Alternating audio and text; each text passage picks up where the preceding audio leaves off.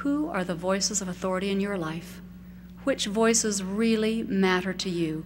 Which voices constrain change in your life? Which voices support and sustain the changes you so desire? Are the present voices of authority in your life voices that help you be who you really are? Voices that help you step right up and speak right into the microphone about what's really in your heart? Voices attached to ears that really want to hear your voice, your ideas, and encourage you to listen to the voice of the Lord in your life?